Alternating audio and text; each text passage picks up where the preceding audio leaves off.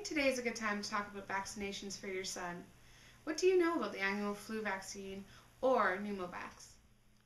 Oh, I don't know very much about them. Do I need to vaccinate my son?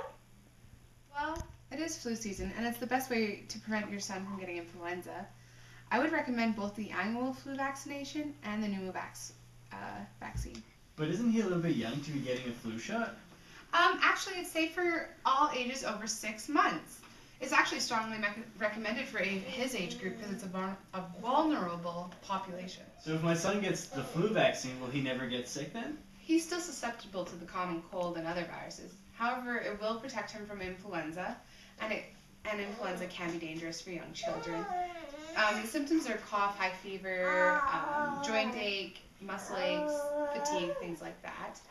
Um, but it can lead to complications if he does get it, like pneumonia, and these can be fatal in young children.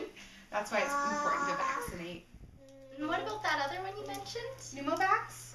This is another important immunization um, that you should consider. It protects him against the bacterial pneumonia, and due to his age, he's at risk for it. Um, the pneumovax vaccine is recommended for people over 65 and um, anyone who is in high risk category or has a chronic illness. Wow, the flu and the pneumonia sound really serious. I don't want my son to get so sick this winter. Well, it's easy to prevent these illnesses. Just get a simple flu shot and you can keep your son healthy. Well, I think immunization's the way to go. I want to keep my son healthy this winter, so I think immunization is the best way to show my son that I care.